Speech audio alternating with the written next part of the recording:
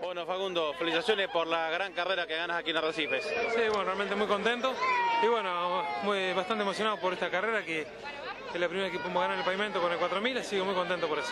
Una gran victoria, mucha ventaja hiciste, Facundo. Sí, sí, un auto espectacular.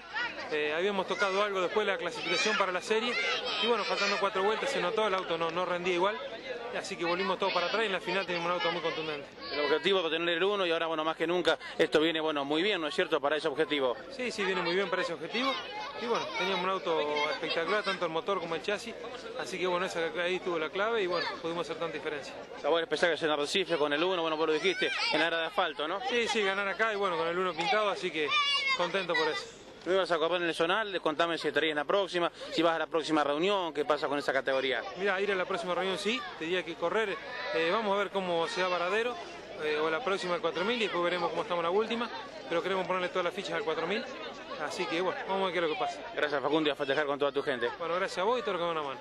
Facundo Pelusa.